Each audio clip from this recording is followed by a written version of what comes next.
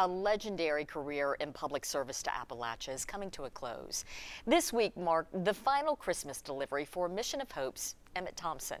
He works with the Mission of Hope, and it work goes all the way back to 1999. And since then, he has led the nonprofit across countless projects to benefit those in need across rural Appalachia.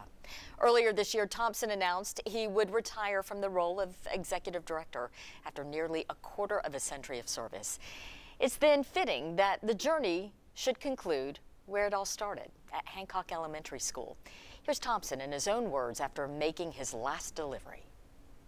Today is extremely special.